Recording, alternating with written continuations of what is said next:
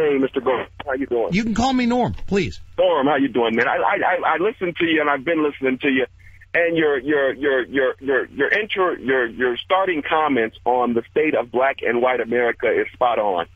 It's a Thank you. shame that we as Americans know very little bit about our history. We know What very little about is- each other. We know very Yeah, it- we know it- very little it's about each other. Rodney. Right. It's amazing how we embrace this concept of the salad, the mixed salad and the, the melting pot, and it's the farthest thing from the truth. What's happening to blacks in this country has historically happened to blacks in this country. It's never stopped. I can't think of one time in our history in this country since being brought over here where we have not been marginalized, where we have not been victimized. And Absolutely. it continues. And what we have today is the ability to see it because of social media and the 24-hour news cycle. But this is not new. We have Emmett Tills and, and those who go unmentioned all throughout our history. The police and, and white men have been killing young black men historically forever. This is not new. This is not a new epidemic. This is not a new plight. For those of those listeners who are blind or don't realize this, just pick up a history book. Just pick up a history book about the plight of black Americans in this country since we've been here, and you will see it. We are marginalized. There are no jobs in our communities. They put drugs and crime in our communities, and then they arrest us at astronomical rates. We are we are profiled. It doesn't even matter now what economic bracket you're in. If you're black and you're riding in a nice car through the wrong neighborhood, the police are going to stop you. And ask you if this is your car. This is my car. I am a peace officer in Chicago. I am in a town right. I'm in a part of Chicago right now called K Town. This is the the K numbered street, lettered streets between Pulaski and Cicero. Right now, I am in an unmarked car. I am a peace officer. I have a gun on. I am in plain clothes. I am subject to be stopped by the Chicago police, and I have been stopped by the Chicago police while conducting official state business. I am a state peace officer. And I've been Unbelievable. stopped by the police on duty. As a Rodney, can I ask you to hold on? Rodney, hang on for me. I got to take a quick break. Rodney, I got to finish with you. Boy, do I have some questions for you. Now, Rodney, thank you for holding over with me. I appreciate it. No problem, Norm. Thank you. Do you have to actually identify yourself when police officers pull you over and you have to like show them your badge and they don't It- it- shoot you when you go exactly. reaching? I've, I've, had them actually pull me over. Now, I, and I'll just go ahead and say it. I'm a parole agent for the Illinois Department of Correction. So I, I work in an unmarked car, but I do carry a gun, and I do have a badge and a vest and all of these things, but we're in unmarked cars. Now, our cars have certain plates. So they're, they have certain plates, and we've got all the antennas and cages and everything that a police car has, but it is an unmarked car. So it's almost impossible to not know what I'm doing. but I've- yet I've you still get pull up pulled to over. My car.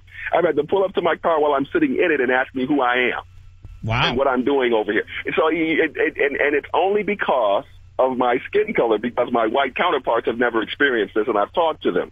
But not just that, Norm. You know, I, I, I graduated high school in three years. I have a college degree. I served my country actively for five years in the United States Army. So I've walked the walk. I've done the talk and all this stuff. So for those who say it's a matter of effort, it's a matter of doing these. It doesn't matter at, at any point in time, just because of my skin color, not because of my life resume, not because I'm a good, upstanding citizen, married to the same woman, taking care of my children, doing everything that every American man wants to do, every every man in the world wants to do, I believe. It does not matter when it comes to my skin color, because at any point in time I can be victimized, and that victimization can change my entire life. It's not something simple like just a ticket or something. I can be killed because of my skin color, because if I run into the wrong person of another skin color, or even the same skin color with the wrong mentality, because of my skin color, I can die. Rodney, I have said for a long time that black people in America are marked for death, and Yes. and you can't change it because you can't rub off your skin color, and that's what that what do it. marks you. Right. It's not a choice. It has been systematically bred into the fiber of this nation. And until we decide to address it openly and honestly, like you're doing on this show, it will never go away. We're talking life and death, Norm. We're not even talking about the unemployment rate. We're not talking about the job disparity or the, the economic, uh, in, uh, Economic injustice. Economic even injustice. Take a look at that. We're not Detroit. talking- I mean, look Right, at Detroit. You talk about- about economic injustice and white flight and concentrating all the black people in the poor parts of town. I mean, Detroit, Michigan is kind of a living example of that. Chicago is one of the most segregated cities in this country. So we, I deal with it. We cross over the train tracks and you're in a totally different situation with totally different services, totally different.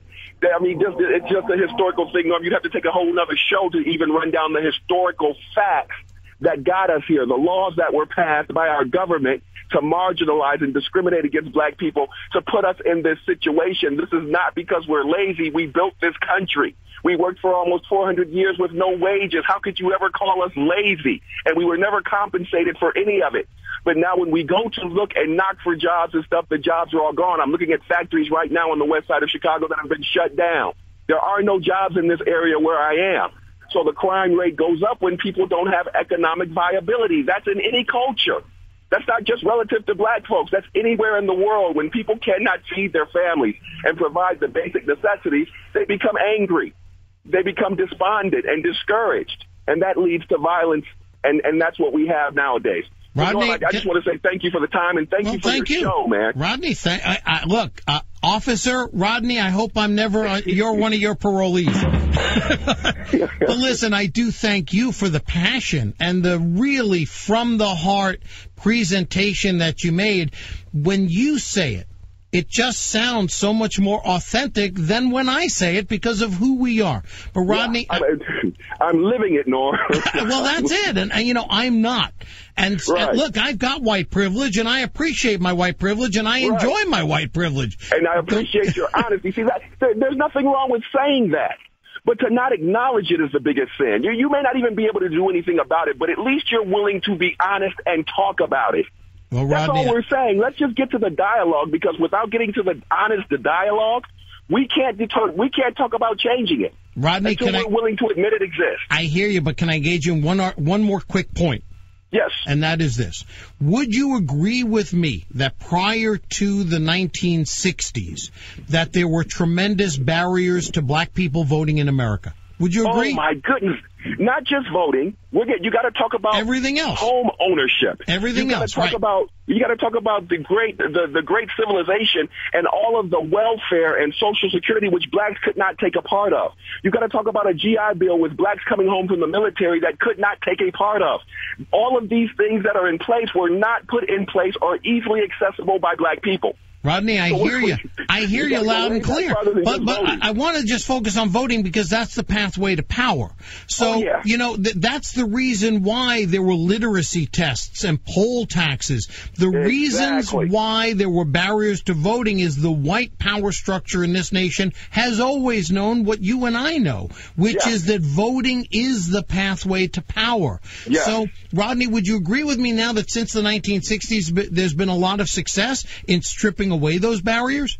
Oh, they they started to begin to strip them away as quickly as we got them. Uh, but now the they're being restored. Now they're being yeah. restored with all the voter suppression stuff we're seeing. Exactly, and what and that's what we're seeing now is the, the erosion of things that folks fought and bled and died for, which they never should have had to.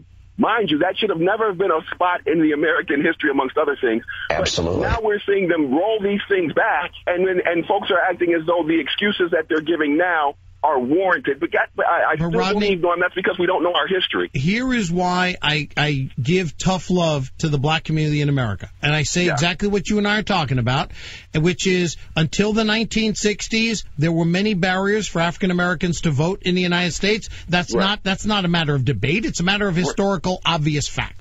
Right. However, since the 1960s, we have been stripping away these barriers at great expense, and as you explained correctly, with many people dying and Yeah. others shedding all kinds of blood. So, now that we've created a pathway, we see the evildoers trying to immediately shut down that pathway with the new Jim Crow laws, the new barriers. Rodney, I've got to move along, but I really appreciate you being a part of the show, and you can call me anytime at one triple eight three two one six thousand and one.